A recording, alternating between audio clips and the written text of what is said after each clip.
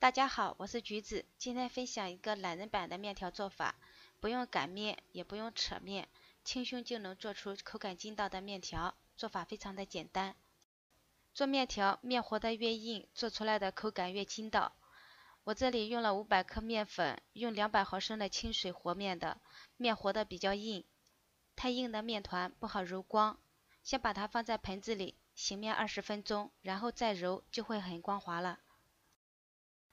趁早醒面的时候，准备两个西红柿，洗干净之后切十字花刀，放在碗中，用刚烧的开水烫两分钟，这样很容易就可以把皮剥掉。另取一个碗，打三个鸡蛋，用筷子把鸡蛋搅散。起锅放油，油温烧到五成热的时候，把鸡蛋倒进去，用筷子快速的搅拌，搅拌成鸡蛋碎。把炒好的鸡蛋碎倒在碗中备用。西红柿烫好之后，把外皮剥掉，改刀切成小块儿，然后装在碗中备用。把醒好的面放在案板上，再揉一会儿。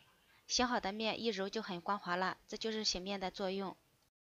把揉好的面团按薄，再用刀切成面条的形状。面条的粗细可以根据自己喜欢的口味决定，喜欢吃细的可以把面团按的薄一点，喜欢吃粗的面条可以把面团整理成厚的形状，再切成薄片。把做好的面条放在开水中煮两到三分钟，煮的时间要根据面条的粗细决定。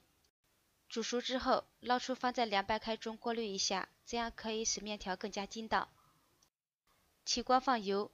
把西红柿放进去煸炒一下，炒到出汤汁粘稠的时候，放一勺盐、一勺鸡精、一勺蚝油、适量的生抽，用铲子把所有的材料翻炒均匀，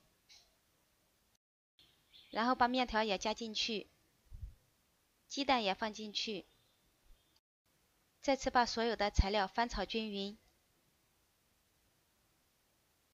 最后再撒上一些葱花，美味即成。